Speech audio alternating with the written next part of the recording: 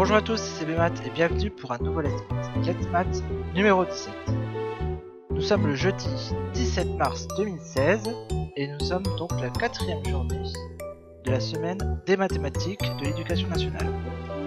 Aujourd'hui, nous allons aborder non pas un problème, pas deux problèmes, mais trois problèmes sur le rugby. Allez, je vais maintenant laisser Virginie dire l'énoncé du premier problème. Un terrain de rugby mesure 75 mètres sur 150 mètres. On installe deux arroseurs B rotatifs au centre du terrain, comme l'indique le schéma suivant. Chaque arroseur a un rayon d'action de 37,5 mètres. 1. Faire un schéma de la situation. 2. Colorier envers la partie arrosée du terrain. 3. Quelle surface de terrain n'est pas arrosée par les deux arroseurs portatifs 4. Quel est le nombre minimal d'arroseurs portatifs de rayon d'action 37,5 mètres, est nécessaire pour arroser toute la surface du terrain? Les deux premières questions, nous allons faire une figure sur GeoGebra. Donc le terrain mesure 75 mètres sur 150 mètres et on installe deux arroseurs A et B rotatifs au centre du terrain comme indiqué sur le chemin suivant. Et on va passer maintenant donc sur GeoGebra. Donc on va tracer on va tracer le terrain. Donc on va tracer un polygone 0, 0, 15, 0, 15, 7,5 et 7,5, 0, 7,5. Donc le polygone, c'est un rectangle, donc de longueur 15 et de largeur 7,5. Donc on fait le terrain à échelle sera de 1 millième. Donc voilà, on va mettre ici le terrain en vert. Le terrain est en vert. Donc maintenant on va placer les deux euh, les deux arroseurs euh, rotatifs. Donc au centre du terrain, donc bien entendu ici à 7,5 on va avoir un, axe de symétrie. Donc la moitié c'est 3,75 et 3,75 donc 3,75 et 3,75 donc le premier arroseur va être ici. 3,75 3,75 et ensuite B. Alors en abscisse il va être à euh, donc 15 fois 3 quarts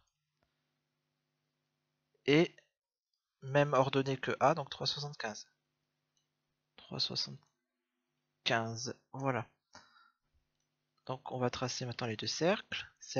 Cercle de centre A et de rayon 3,75. Voilà. Et cercle de centre B et de rayon 3,75 peut colorier les deux cercles en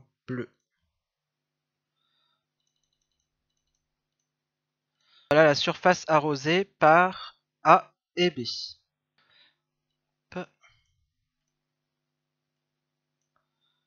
Donc voilà la figure qu'on a obtenue sur GeoGebra avec la surface euh, coloriée. Donc il nous dit colorié en vert, bon, on nous a colorié en bleu. Alors, deuxième question. Troisième question. Donc, quelle est la surface qui n'est pas arrosée? Donc, l'air du terrain. L'air du terrain, c'est égal à donc 150 fois 75.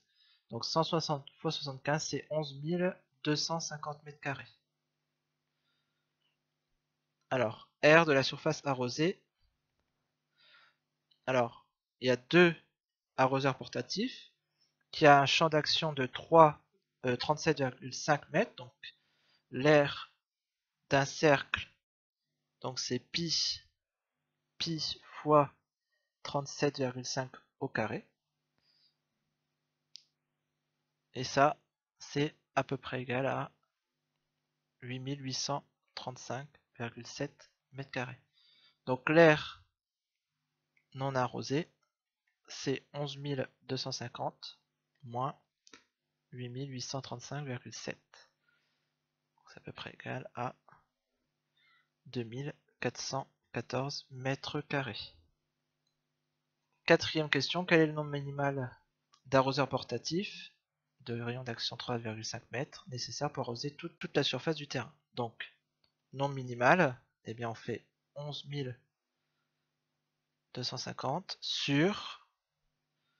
Alors, ici, nous avons euh, l'air de deux euh, d'arrosage de deux euh, arroseurs portatifs.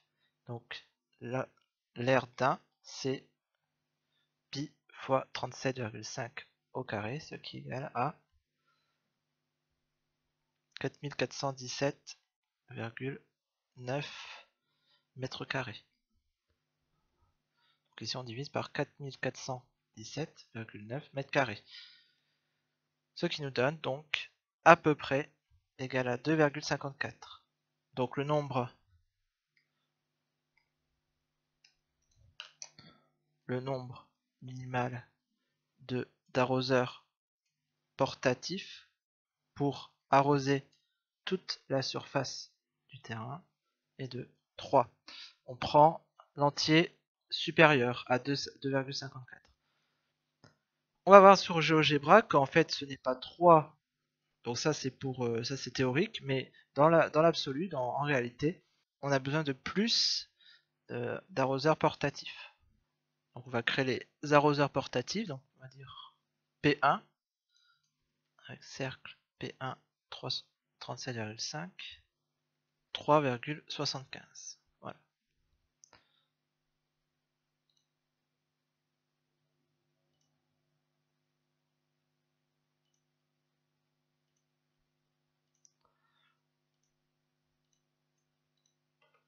voilà donc on va colorier les cercles en bleu.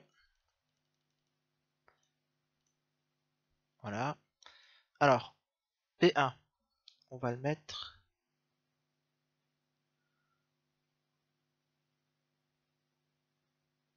Alors ici,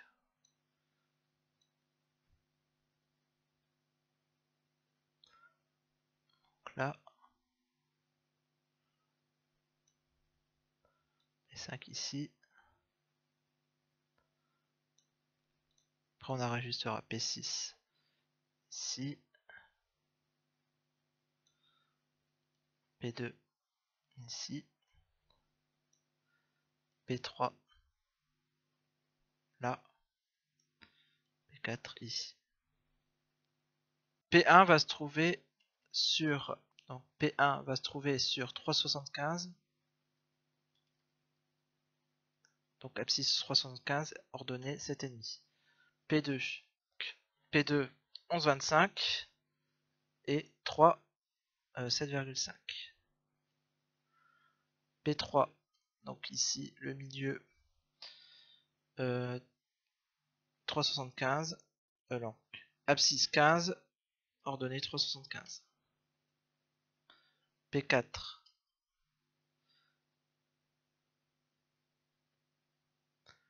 Donc P4, 11, 25, 0. P5, 375, 0. Non, c'est pas ça. P5, T 0, 375. P7, 375, 0. P6, donc 7,5, 3,75. Donc voilà la surface optimale surface optimale de d'arrosage, on voit des zones qui se répètent, mais je pense que c'est la surface optimale pour, euh, arroser le terrain. Donc nombre minimal en réalité, en fait, c'est 7. Bien voilà pour le premier problème, on va passer maintenant au second problème. Je laisse Virginie lire l'énoncé de ce problème. Monsieur Dervieux aimerait organiser un tournoi où tous les élèves de l'option de rugby participeraient. Voici la composition des classes à option rugby. 39 élèves. 27 garçons et 12 filles. En 6e 5e, 18 élèves. En 4e 3e, 21 élèves. 1, Monsieur Dervieux veut avoir le même nombre de filles dans chaque équipe, ainsi que le même nombre de garçons dans chaque équipe. A. Quel est le nombre maximal d'équipes que Monsieur Dervieux peut former pour son tournoi?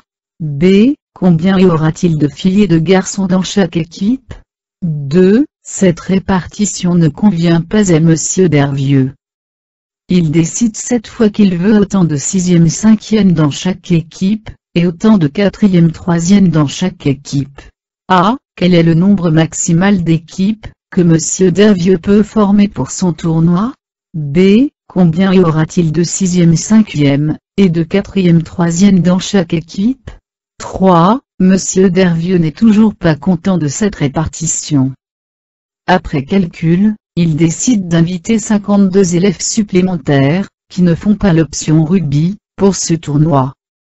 Il veut mettre autant d'élèves, qui font l'option rugby dans chaque équipe, et autant d'élèves qui ne font pas l'option dans chaque équipe.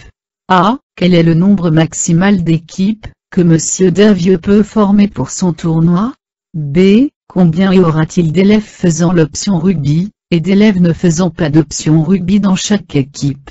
C. À votre avis, pourquoi Monsieur Dervieux a-t-il préféré la troisième répartition?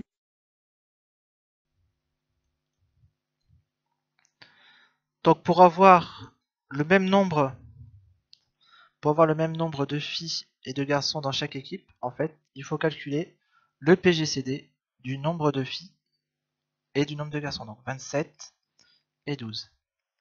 Donc ici on fait l'algorithme d'Euclide. Donc 27 c'est égal à quoi fois 12 Donc c'est 12 fois 2, 24, plus 3. 12 fois 2, 24, plus 3, 27. Et 12 c'est 3 fois 4, plus 0. Le dernier reste non nul c'est 3. Donc PJCD de 27 et de 12 c'est 3. On a 27 est égal à 9 fois 3 et 12 est égal à 4 fois 3. Donc, Monsieur Dervieux va pouvoir faire 3 équipes au maximum. Chaque équipe sera constituée de 9 garçons et 4 filles. Donc deuxième question, on veut faire maintenant des équipes avec le même nombre de 6e, 5e et nombre de, même nombre de 4e, 3e. Même principe. Même principe. On va calculer le PGCD de 18 et de 21. Donc 21 est égal à 18 fois 1 plus 3. Et 18 c'est égal à 6 fois 3 plus 0 dernier reste non nul, c'est 3. Donc ici, PGCD de 18 et de 21, c'est 3. On sait que 21, c'est 7 fois 3, et 18, c'est 6 fois 3. Donc, Monsieur Dervieux pourra faire au maximum 3 équipes. Il y aura il y aura 7 quatrième, troisième et 6 cinquième, sixième, cinquième.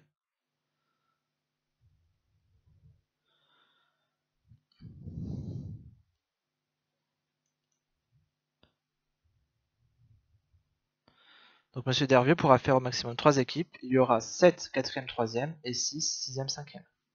Donc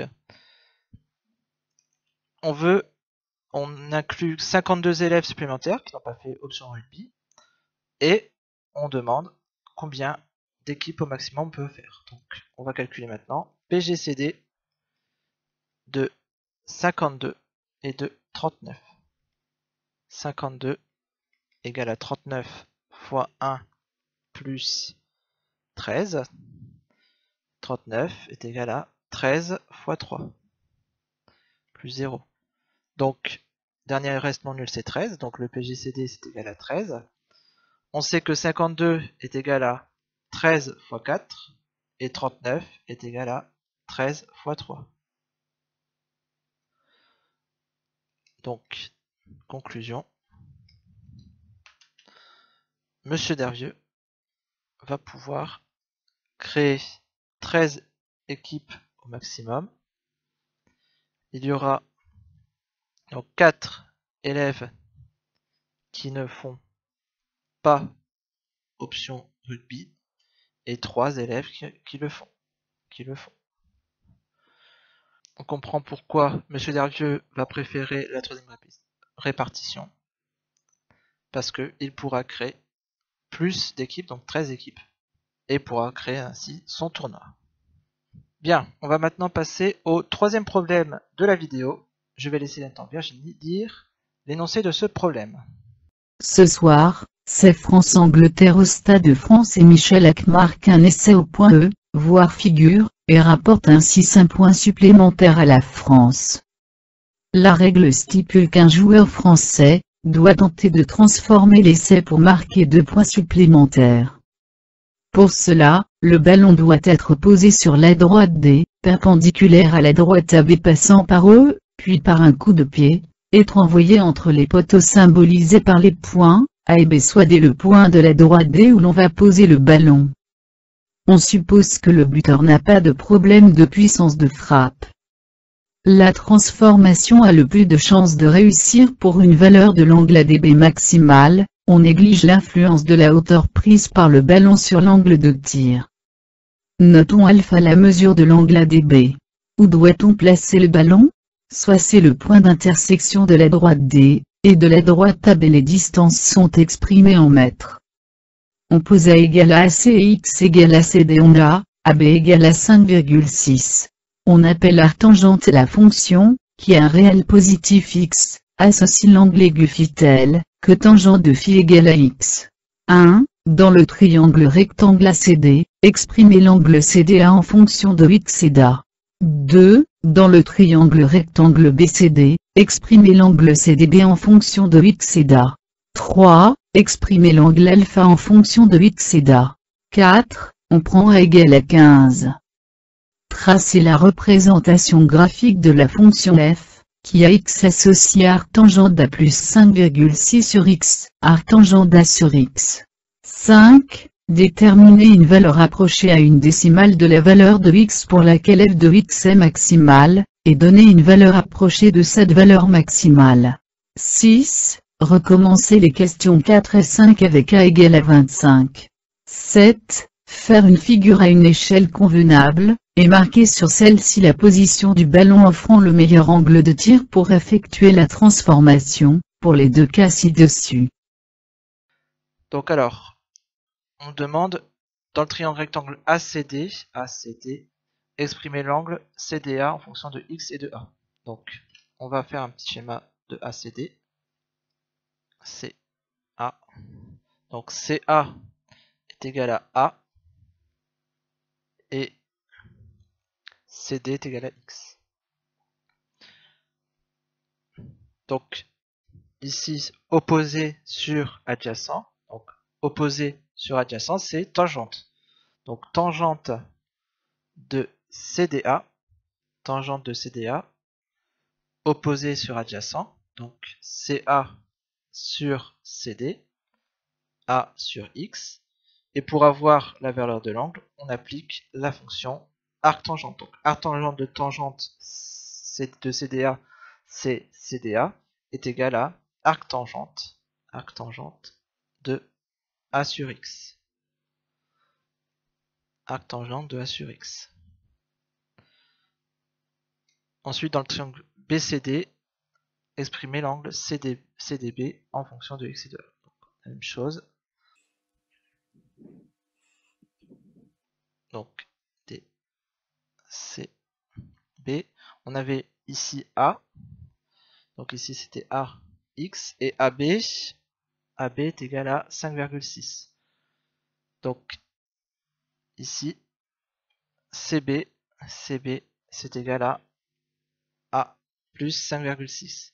Donc l'arc tangente, donc l'angle CDB, on va prendre tangente de CDB, c'est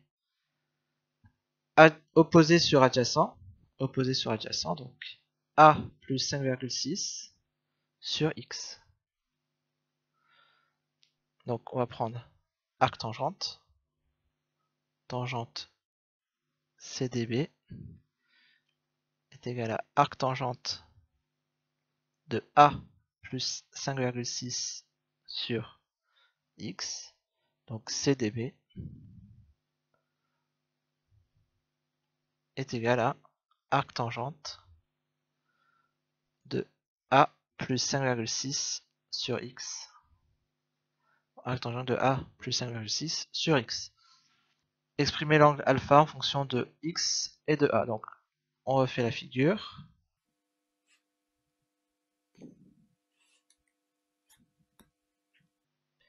Donc ici, on avait l'angle alpha, CDB et CDA. Donc alpha est égal à C l'angle CDB moins l'angle CDA. Donc arc tangente.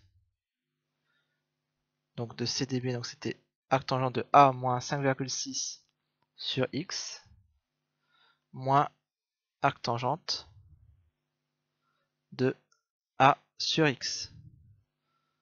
Donc alpha est égal à arc tangente de A moins 5,6 sur X moins arc tangente de A sur X. Donc on va prendre A égale à 15 et on va tracer la représentation graphique de la fonction suivante. Donc on va tracer la représentation graphique sur Desmos Graph. Donc la fonction à tracer était, donc on va prendre A égale à 15.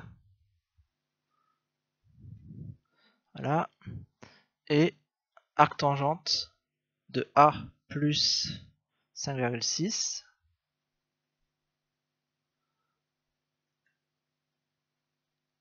sur X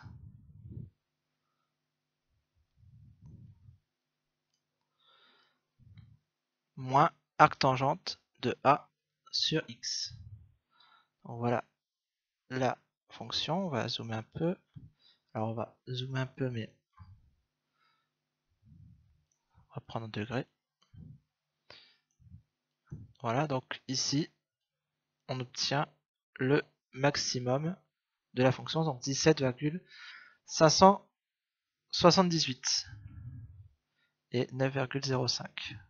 Donc, déterminer une valeur approchée de la valeur x pour laquelle f de x est maximale. Donc, x est égal à 17,6. Donc ça c'est mètre, donc c'est la position euh, du tireur. Et alpha, alpha va être égal à 9,05 degrés. Donc 9 degrés à peu près. Donc si le, le donc si le tireur se trouve à 17,6 mètres de euh, du but, son angle de tir maximum sera de 9,05 degrés.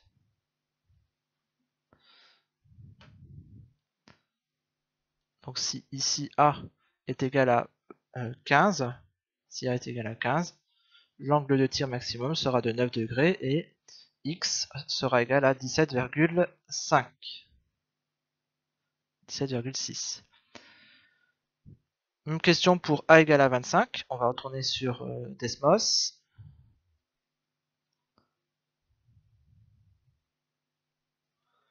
Donc ici A égale à 25.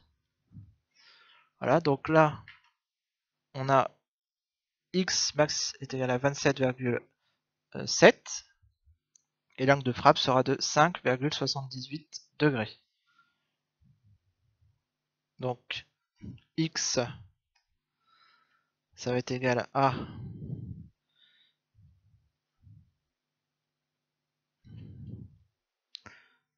27,7 mètres et alpha 5,78 degrés. Donc, quand A, quand A est égal à 25, euh, le tireur doit se placer à 27,7 mètres du but pour avoir un angle de tir maximum qui sera de 5,78 degrés.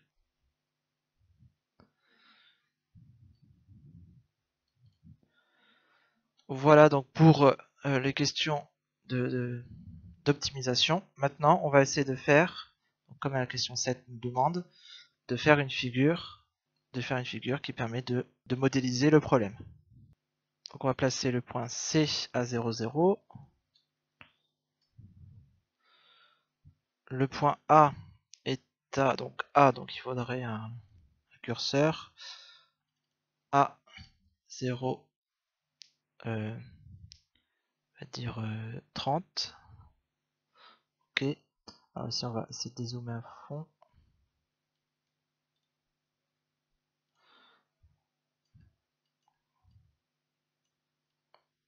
Voilà à peu près ici. Donc on va placer A de coordonnées 0A Attendez, on va, on va placer A. 15 voilà. B, donc 0A plus 5,6.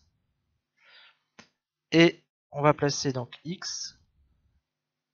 Ok, donc ça, ça va être D. Donc le curseur va s'appeler X. On va dire comme ça. Donc B, il se déplace ici.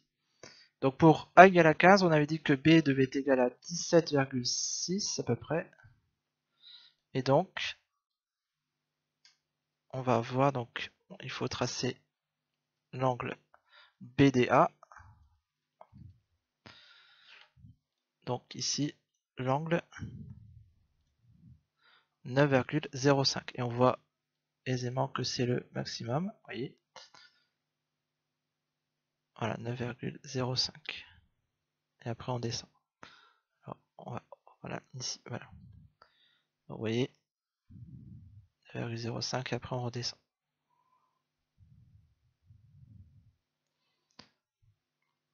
Bien, maintenant on va faire pour A égale à 25. Bon, B va sortir du... Voilà, A égale à 25 on avait dit que B va être égal à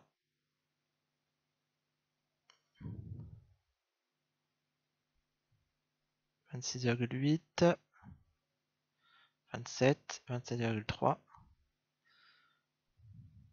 Donc ici le B c'est 26,7.